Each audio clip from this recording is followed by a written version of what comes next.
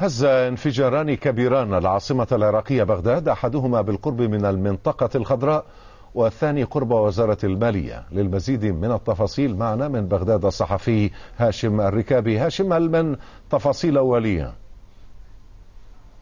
نعم في الحقيقة هز انفجارين صباح اليوم بغداد.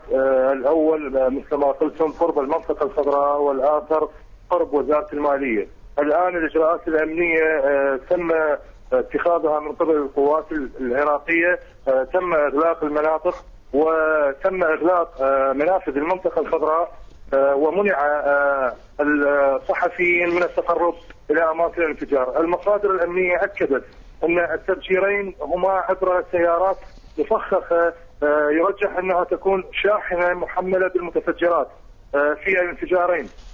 لا تزال الإحصاءات الرسمية بالنسبة لضحايا التفجير غير معلومة لحد الآن، نعم. هاشم الركابي شكرا جزيلا لك.